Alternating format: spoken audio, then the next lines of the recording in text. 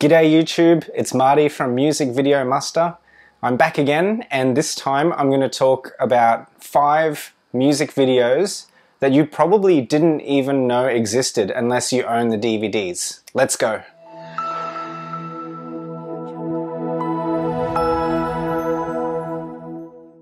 Hi and welcome back to the channel where we believe that music is better on DVD.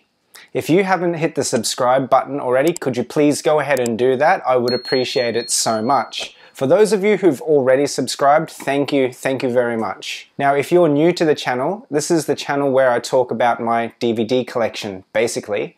And if you are a returning viewer, thanks for returning first of all, but you will already know that I really love music videos and I really value the DVD as a medium for that entertainment. Now it's true that with most music videos you can see them on YouTube, but there are some certain music videos that for one reason or another never actually made the upload, or if they do exist on YouTube, they haven't been uploaded by the official artist's channel. For this reason, you might not even know that these music videos exist.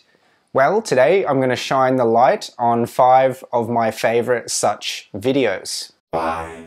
Alright, let's kick off with number five, and I want to start with Led Zeppelin Communication Breakdown. There are a few videos on YouTube featuring this song, but this particular clip is high quality audio and high quality video, especially considering that it was recorded in 1969, which is well before the days of MTV. The video I'm referring to is available on this DVD.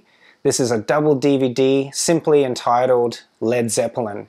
The video appears as an extra on disc 1. The first part of disc 1 is a live set from the Royal Albert Hall in 1970, I want to say. Yeah, 1970. And the first video in the extras section of that disc is this promo for Communication Breakdown. From what I understand, doing a little bit of research online, this video was recorded in Sweden, and I don't know exactly how it was used to promote the band or to promote their music, but it's synced to the original recording, and it's obviously the band miming the song, which perhaps back in 1969 was considered kind of silly by most bands or funny because I suppose back then they would promote themselves by doing live appearances and actually playing the songs. It's clear in this video that the band has a bit of a sense of humour and it also looks like they might be quite self-conscious of the fact that they're miming but I think it's a really cool music video and I'm glad to have it collected on this DVD. Four. Alright, coming in at number four on my list is a band that's one of my favorite bands of all time and which is on high rotation at my place at the moment. The band is called Porcupine Tree and the song that I'm talking about is Anesthetize.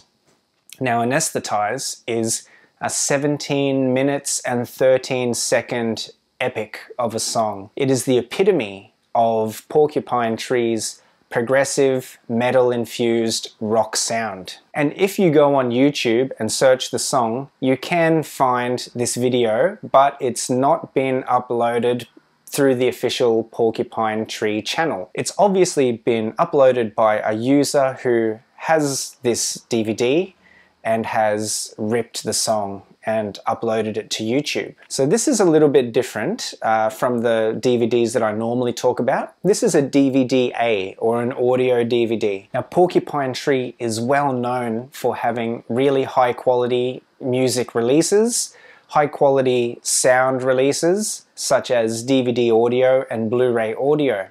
Steve Wilson is a famous mixing engineer as well as the lead singer and guitarist of Porcupine Tree, and he really cares about the mix, which is why there are many Porcupine Tree albums, if not all of them, available in 5.1 surround on DVD audio.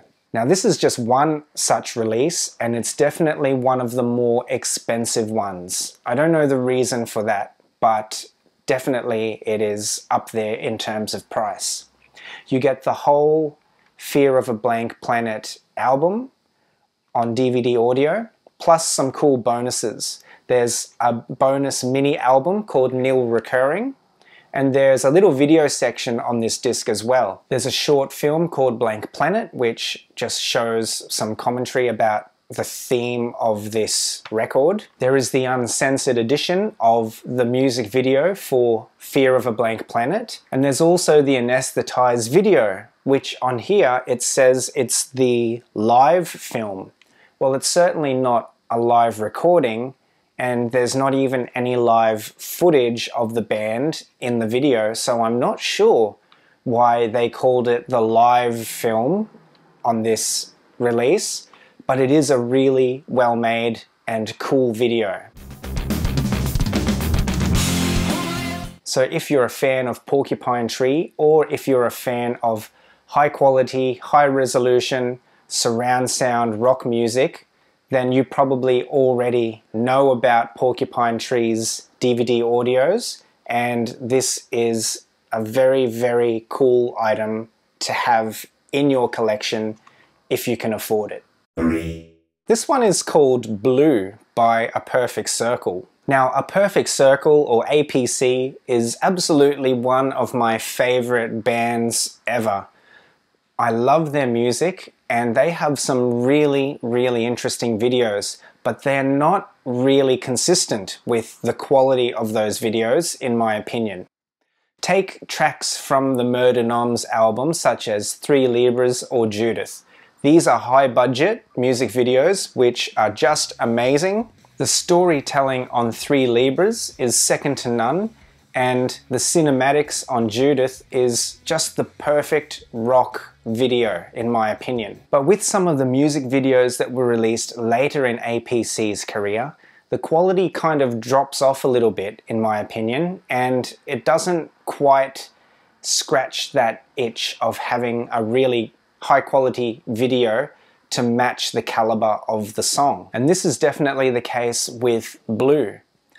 I don't think it is actually an official music video for the track, but it kind of is. Let me explain.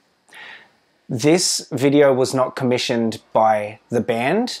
It was the winner of a competition that the band set up. Most of that information is now lost and I can't find it on the internet. But there was a competition to, I think, promote the album 13th Step where the band said, okay, all of you fans out there, we've got a really cool prize pack.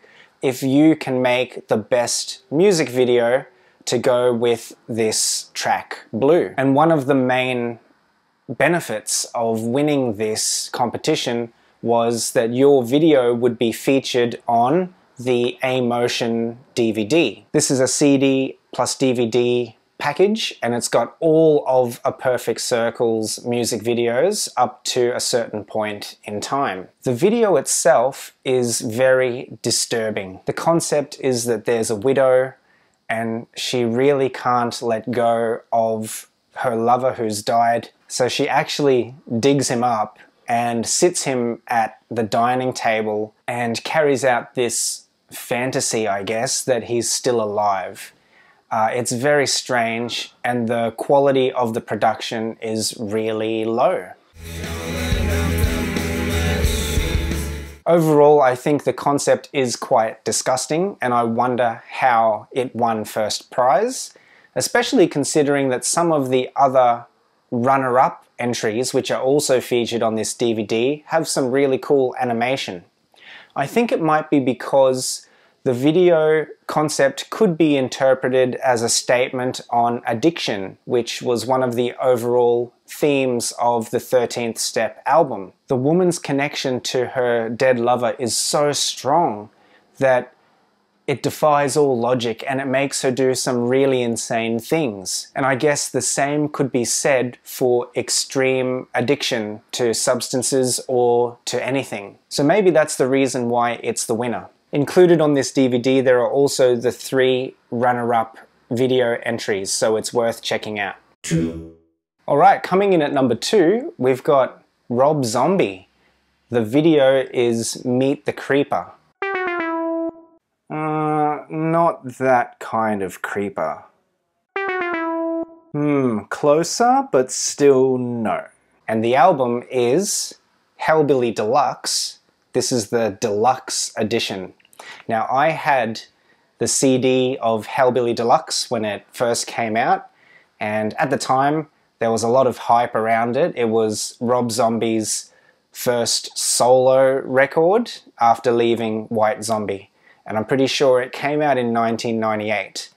This version, the deluxe edition, came out in 2005, and it's just a little bit different. So it's a gatefold, which opens up four panels, and then we've got the CD obviously here, and this is a bonus DVD which is really special because it has every single track from the album with a music video directed by Rob Zombie. I've heard some people on the internet refer to this kind of release as a video album or a visual album, and they're kind of rare, so I think that it's really great that there is a visual album of Rob Zombie's CD. With the original release of the album, there were already some music videos that were produced, but then some years later, when Rob Zombie decided to release this deluxe edition, he went ahead and made videos for the remaining songs and put them all together onto one disc. Now, many of the songs that he made videos for are just filler tracks, but I really like the Meet the Creeper video. It's reminiscent of the psychedelic 60s, and it also looks like a B-grade horror movie. So it's a combination of these two styles, which is a very cool aesthetic, in my opinion. Am I a huge fan of Rob Zombie? No, not really. But I do think that it's really cool that he's made a video for every single song every track on this album, and I'm very glad to have this one in my collection. One. Okay, so my number one favorite music video, which you probably never heard of, is Radiohead, Where I End and You Begin. Yuck, no, that's not what I meant. Now, this music video is featured on this DVD, which is a fairly recent acquisition for me. This one is called The Most Gigantic Lying Mouth of All Time. So you can see from the artwork that it's reminiscent of the Hail to the Thief album, and it also contains some music from the Amnesiac album also. Now this DVD makes me really happy and really sad at the same time. Happy because it contains a lot of great music from the band, which is not captured anywhere else on their other video releases. But the reason why it sometimes makes me sad is because most of the music videos on here are just little snippets and you'll just start getting into the song and then it will finish. So I just wish that they could have included more full-length music videos on this disc. Now I'm pretty sure that every single video on the DVD, and there are 24 short films altogether, I'm pretty sure they were all made by fans and by people not necessarily connected to the band. Originally, the concept for this DVD was to create four episodes which could be real TV episodes aired on TV or on Radiohead television which I think in the end was a little section on Radiohead's website back in the day. But anyway, fast forward a few decades and we have the collection available on DVD I think it is a little bit rare. It's out of print, so get your hands on a copy if you can. So back to the video, where I end and you begin.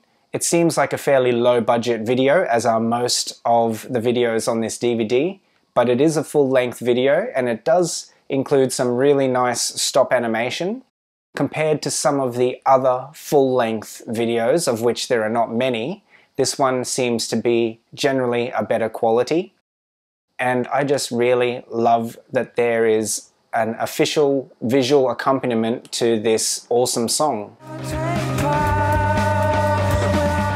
So altogether there are 24 short videos which are all grouped into four episodes as well as some really avant-garde interviews which you'll see if you ever look at this DVD. There are some interviews with Thom Yorke, there are some interviews with Ed O'Brien, but they're not normal interviews, they're edited in a really strange, bizarre kind of way. You'll see what I mean when you look at this DVD for yourself. This particular DVD gets mixed reviews that I've seen on places like Amazon. Some people love it and some people think it's rubbish. Me personally, I love it because I am a huge fan of Radiohead and I'm a DVD collector. So if you are also a collector, then you must have this item on your shelf. And if you're a Radiohead fan, this is a great addition to your collection. Alright guys, so that's it. Thank you for watching another one of my videos. Please remember to like and subscribe and comment in the comments section. Until next time, I'd like you to watch some of your music videos because music is better on DVD. See you next time.